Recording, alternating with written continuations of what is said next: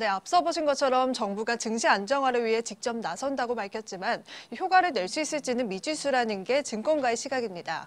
일시적인 대책보다는 증시로 자금이 꾸준히 유입될 수 있는 투자 환경을 조성해야 한다는데 힘이 실리고 있습니다. 박승원 기자의 보도입니다.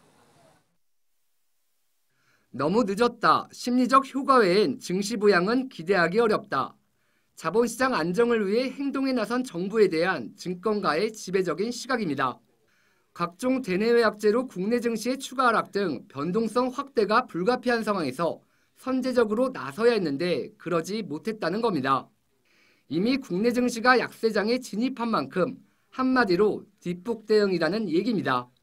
증시 안정을 위해 투입되는 자금 규모도 효과를 내기엔 턱없이 부족하다는 지적도 나옵니다. 심리적 안정에는 도움이 될 수 있지만 실질적인 효과를 낼지는 미지수라는 겁니다. 중앙펀드의 규모 자체가 시장 규모에 비해서 그렇게 크다고 보기는 어렵기 때문에 증시 부양 효과는 상대적으로 조금 제한적인 수준에서 나타날 가능성이 높습니다. 상황이 이렇자 보다 근본적으로 투자하기 좋은 환경이 조성돼야 한다는 지적입니다. 국내 증시가 다른 아시아 주요 증시와 비교해 유독 부진한 모습을 보이고 있는 건 증시로 자금이 꾸준히 유입될 수 없는 투자 환경이 주된 원인이라는 겁니다. 결국 증시 추락 때만 나오는 이런 일시적인 대책보단 거래세 인하 등 개인 투자자의 투자 환경을 개선해야 한다는 목소리에 힘이 실리고 있습니다.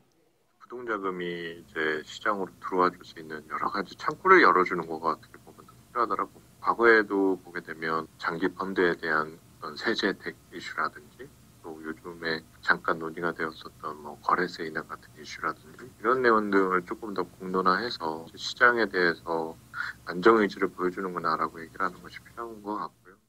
국내 증시 건전성엔 문제가 없다고만 외치고 있는 정부. 하지만 정작 증시에 박힌 대모수는 바라만 보면서 개인 투자자들의 이탈을 부채질하고 있습니다.